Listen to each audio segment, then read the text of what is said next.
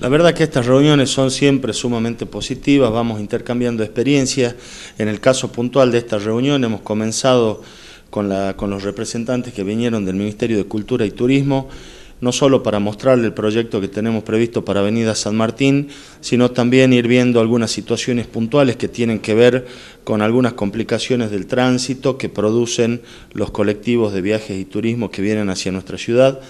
En este sentido, el licenciado García Soria nos dio un par de ideas que están bastante buenas. Seguramente vamos a generar en las próximas semanas algún tipo de reuniones con las cámaras hoteleras y con, todas con todos aquellos organismos que tienen que ver con el turismo, un poco para comentarle cuál es el problema que estamos teniendo en relación a estos coches de gran porte que se acercan hacia el microcentro y que quedan ahí, este, bueno, y ver de qué manera podemos podemos ir solucionando esto, lo que venimos pensando es primero hacer una campaña de información conjuntamente con todos los organismos que tienen que ver con el turismo y a partir de allí sí comenzar ya lo que sería un proceso de control y eventualmente de sanción de aquellos vehículos que no cumplan con la normativa vigente en cuanto a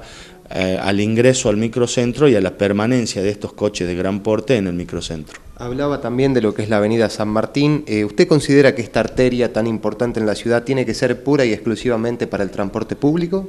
Yo considero que sí, teniendo en cuenta la gran cantidad de colectivos que pasan por esa avenida y teniendo en cuenta también la gran cantidad de usuarios que utilizan el sistema de transporte. Eh, nosotros como AMT tenemos la posición que debemos darle prioridad al transporte público, teniendo en cuenta que 340.000 usuarios usan este sistema todos los días y en este sentido el, el programa, el proyecto que viene desarrollando la municipalidad conjuntamente con todos los organismos que integramos esta mesa de trabajo, contempla en principio esa posibilidad de que el transporte de que Avenida San Martín pueda ser exclusiva para el transporte público, por lo menos en uno de sus tramos. Para nosotros es muy importante y en este sentido debo resaltar los buenos resultados que viene dando ya en materia de,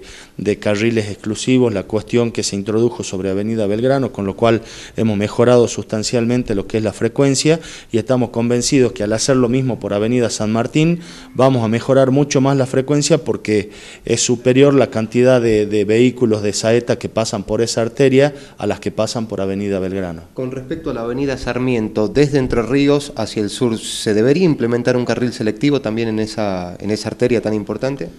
No habría que analizarlo, por Avenida Sarmiento no es mucha la cantidad de, de vehículos de transporte masivo que pasan.